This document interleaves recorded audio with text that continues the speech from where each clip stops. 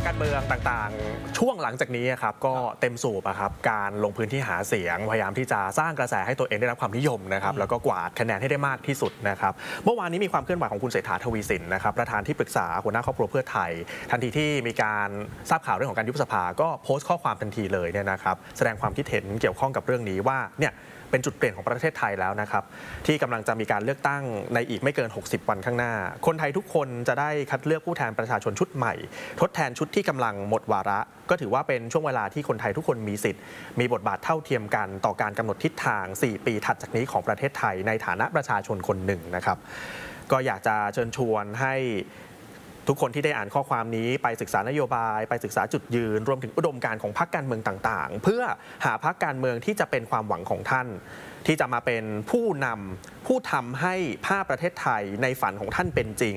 มาขับเคลื่อนประเทศ แล้วก็ทำให้ชีวิตของทุกคนดียิ่งขึ้นนะครับแล้วก็ทิ้งท้ายแบบนี้ว่าเพื่อไทยเขาก็พร้อมนะในการสร้างความเปลี่ยนแปลงเชิงบวก ให้กับประชาชนทุกกลุ่มอย่างเท่าเทียมกัน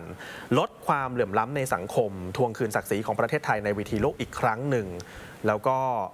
บอกว่าโอกาสของทุกคนทุกท่านจะเป็นการกำหนดทิศทางของประเทศมาถึงแล้วครับอืมการออกมาสื่อสารแบบนี้ของคุณเศรษฐาเนี่ยก็ทำให้เห็นว่าต้องการเข้ามาสู่ระบบอย่างจริง ๆ จัง ๆ เพราะว่าสัญญาณของการยุบสภาแน่นอนมันถึงการเปิดโอกาสให้ประชาชนได้เข้ามาใช้สิทธิ์เลือกตั้ง 4 ปี ถ้าไม่พอใจครับเลือกพรรคอื่นถ้า4ปีพอใจก็เลือกพรรคเดิม อันนั้นก็เป็นตามระบอบประชาธิปไตย